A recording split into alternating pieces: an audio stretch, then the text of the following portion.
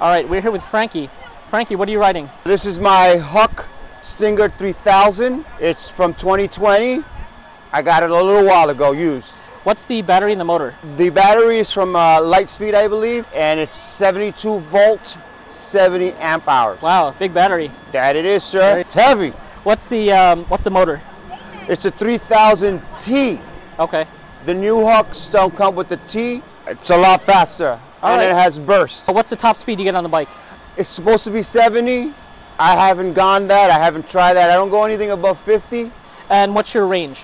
Right now, I believe 60 miles. 60. Okay. And what's the total cost of the bike, if you don't mind me asking? Well, originally, I believe this bike would have cost someone uh, maybe six grand. Okay. I got it for half that.